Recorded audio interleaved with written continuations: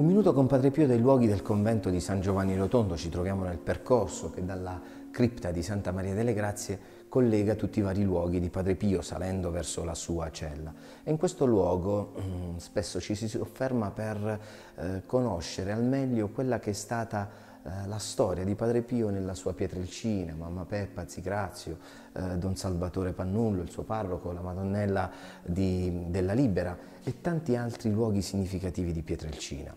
Oggi qui per raccontarvi la storia di Alberto del Fante. Lo ha raccontata eh, Don Pierino Galeone nel suo libro, eh, una storia veramente emblematica. Alberto era nella massoneria, un feroce anticlericale. Eh, la moglie in quel periodo stava veramente male, era malata di un tumore, era moribonda e non aveva nessun tipo di speranza. Eh, lei però chiese piangendo al marito di venire qui a San Giovanni Rotondo e chiedere una grazia a Padre Pio da Pietrelcina, eh, chiedere la grazia della sua guarigione. Eh, lui gli rispose di sì, cioè gli disse eh, ci andrò, ma non andrò a chiedere la tua guarigione, andrò a chiedere un terno all'otto. Pensate un po'. Lui venne qui a San Giovanni Rotondo, partecipò alla celebrazione eucaristica di Padre Pio, poi volle confessarsi. Nel momento in cui giunse eh, dinanzi al confessionale non si inginocchiò.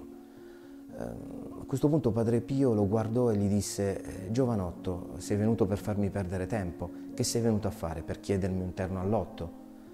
A quel punto eh, Alberto cadde in ginocchio ai piedi di Padre Pio. Eh, cominciò a piangere, cominciò a sentirsi in vero e chiaro imbarazzo. Padre Pio man mano gli leggeva tutta la sua storia, gli leggeva tutta la sua vita, gli elencava tutti i suoi peccati, tutti i peccati che aveva commesso. E intanto eh, lui con le mani agli occhi e al, al volto continuava a piangere per nascondersi. E lo stesso Padre Pio gli sussurrò, singhiozzando, eh, figlio mio, mi sei costato il meglio del mio sangue, mi devi dare una mano ad aiutare gli altri. E poi, prima di congedarlo, prima della benedizione, eh, Padre Pio gli disse, Alberto, salutami tua moglie. Lui tornò a casa e la moglie era guarita.